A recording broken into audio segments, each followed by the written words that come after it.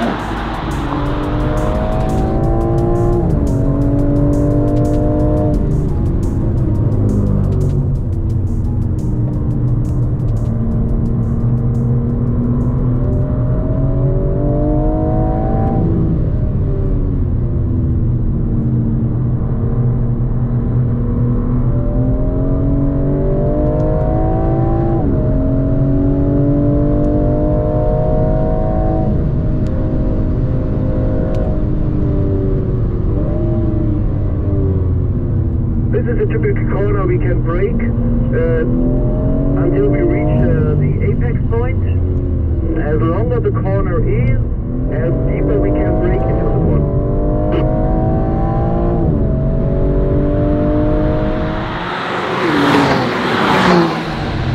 Well, that was the end of the first session, and wow, wow, wow. I feel like I've learnt the circuit really quickly thanks to Lars, the instructor and this car is so impressive. I know it's impressive because I have a G80 myself, but around here on a big circuit where you think a road car would feel a little bit sloppy, I mean it's impressive, especially considering we've got everything in comfort and efficient. We've backed off none of those modes, so it's basically in the default mode that you start the car up in in the morning for your journey to work. So I'm looking forward to playing around with those settings and backing off some of those traction control settings, especially out some of these slower corners and seeing what else the car has to unlock. But so far, wow, wow, wow, wow. What a circuit, what a car, what an instructor. I mean, what an experience, wow.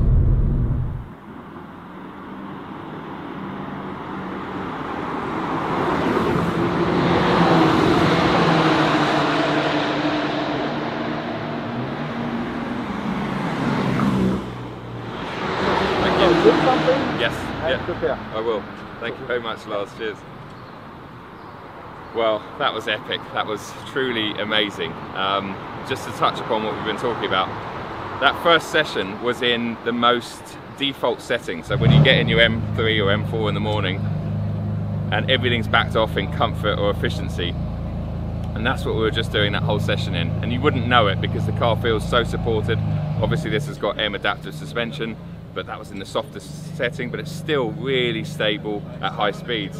Um, I feel like I've learnt so much in such a short period of time, but having Lars to follow is just amazing because when you've got a carrot in front of you, you can pick up everything very quickly. Um, and I was intimidated by the circuit before I drove it this morning, and after about two or three laps, it felt lovely. It was nice and flowy but a lot of that has to do with yeah, how good and stable this car is. I mean, it's crazy. This is a road car.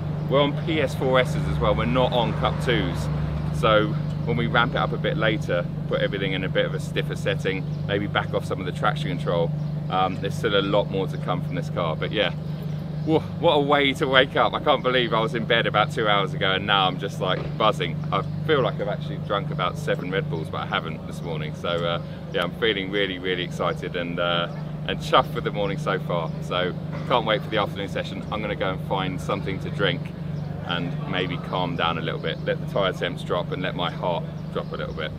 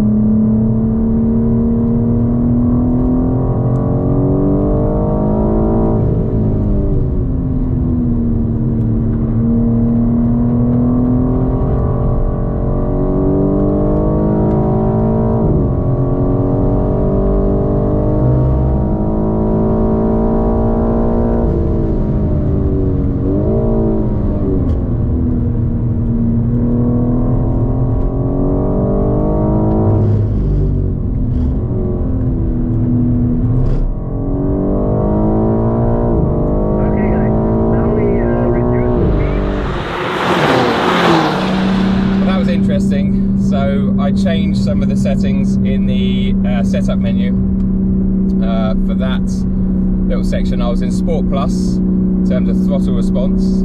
Uh, I was in Sport Plus in terms of the M adaptive suspension, so the stiffest chassis setup.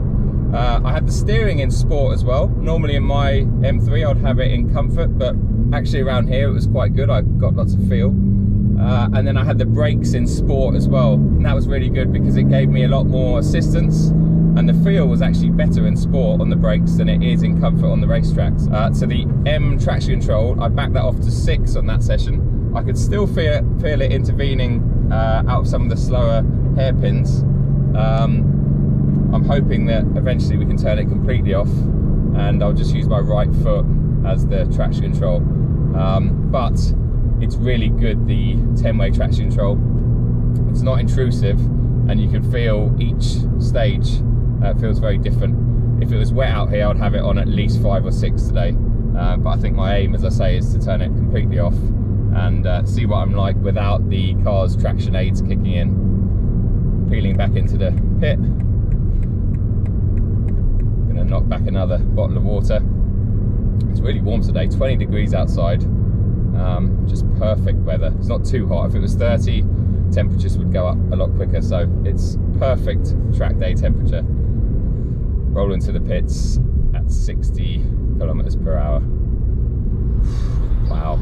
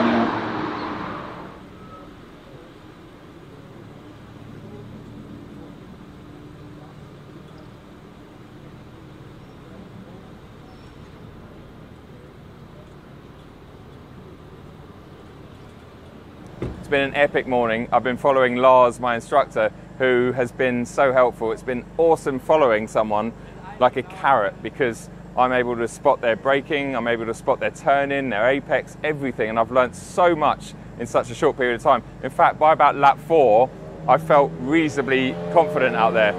We did a first session which consisted of about two 20 minute sessions.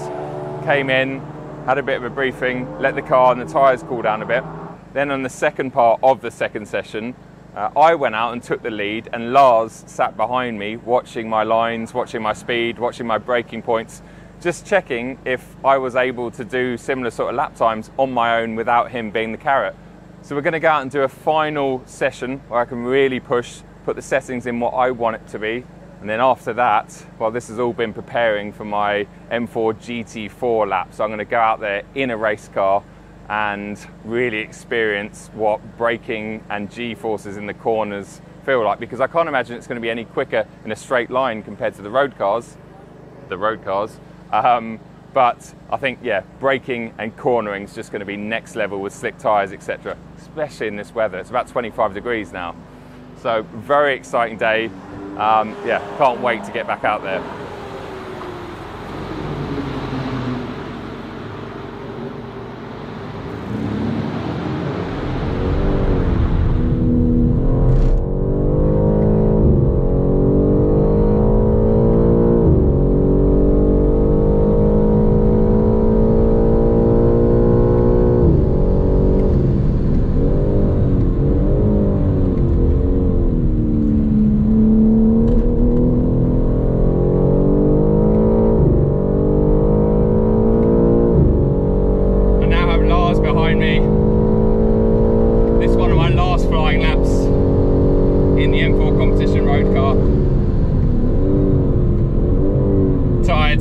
Brake temps are through the roof.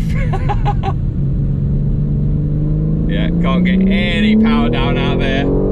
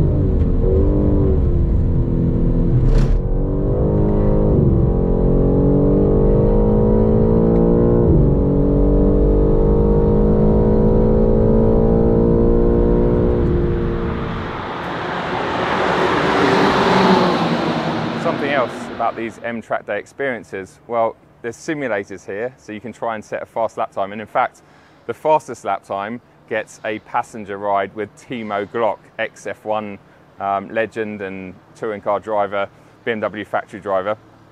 I should get a lap with Timo later, which is going to be awesome. Um, and alongside the simulators, we've also got the Red Bull Drift Brothers, uh, and they're sort of demonstrating their skills out there on a sort of drift pan and teaching paying customers how to drift, the basic skills of drifting. So as a bit of a bonus today, I'm actually going to jump in this M4 competition behind me and have a quick drifting lesson by one of the Drift Brothers. Do you want to introduce yourself? And, yeah, uh, sure. Uh, so I'm Elias. Joe is driving in the background with one of the guests here and we have these awesome M4 competitions to show all the customers here some drifting and yep. you invited as well. So first we jump in, just do the circle, yeah, and then you jump on the wheel and yeah, have some fun hopefully. Fantastic! I'm really looking forward to it. I'm not I'm not much of a drifter myself.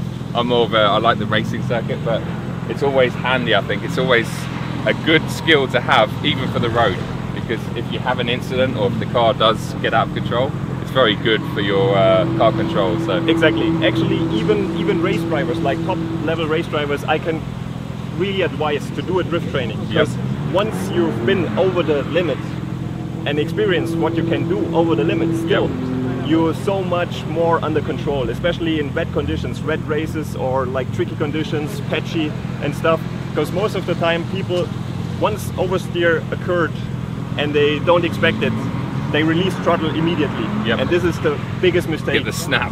Yeah. Exactly. Then the snapback comes and most most yeah violent crashes happen. Yep. And this is something you can experience here quite easy. Yep. Just keep your foot down, counter steer, and then slowly release the throttle and bring it back. Okay.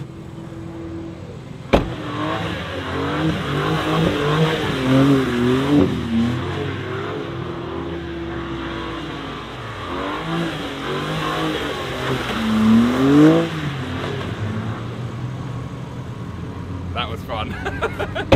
now, how not to do it.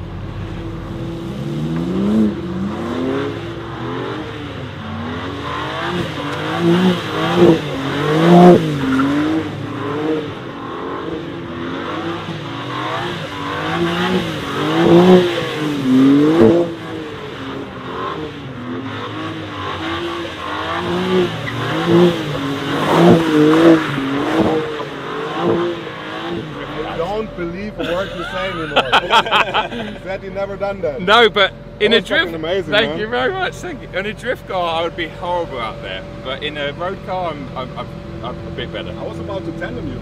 Were you? No way. Like I never do that. Oh. It looks so. You look at home and Thank you. Oh, well, yeah, it's a massive compliment coming from you guys. again. Yeah. Yeah. Oh, here we go. Tandem. Oh god.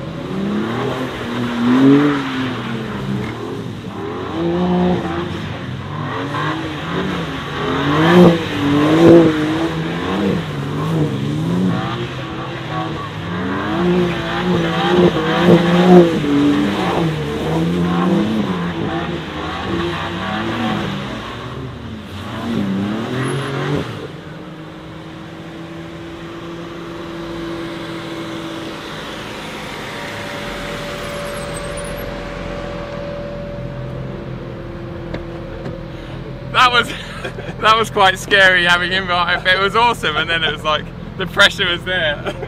Uh, oh man, that was honestly one of the best things I've ever done. First tandem. Mate, that was awesome. Thank you so much. Really, That really was- nice. Good It was quite scary, like with you behind me, and then when I started to go, I thought, oh shit, and I was like, oh no, I think you've seen it before, you know. oh, I never do this. Fantastic. Never do this. Like you can ask him. Yeah. The only guy I did it with was uh, JP. Wow. I don't know if you know him. Yeah, yeah, I've, I've Yeah. been on events with him. That's but the yeah. only guy Okay. ever Wow. who's not a professional drifter I drove together with. Fantastic. Well, thank you. That's a compliment. massive compliment. It Thank is- you very much. That's good driving. Look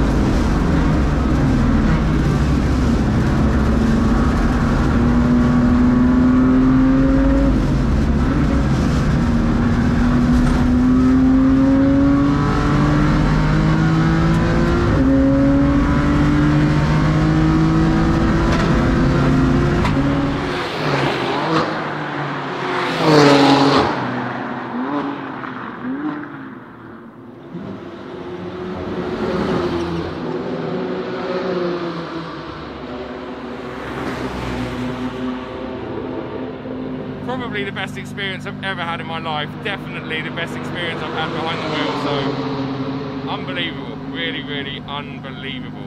Um, but I was only just beginning to understand the car and the grip levels.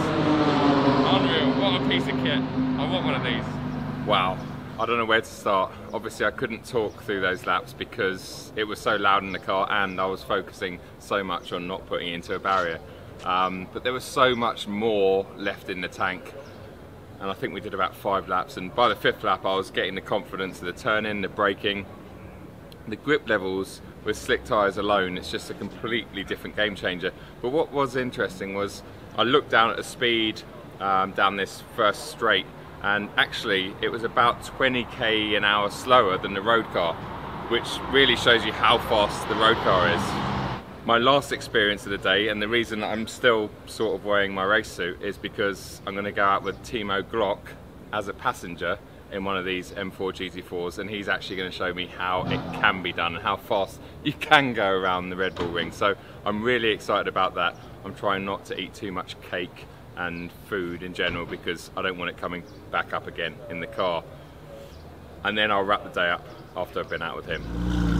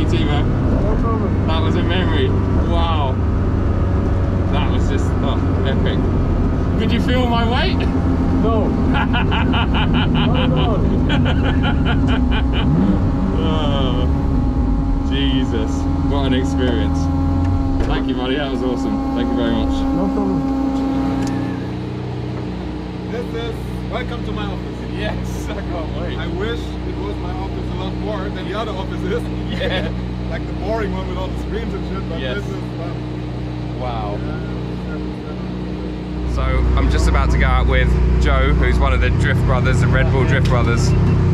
This is going to be pretty sick. This car is just mega. My baby. Your baby, yeah. Look at it. Look, Epic. even have the iDrives. It's yeah, it's like it's like the original iDrive. Yeah.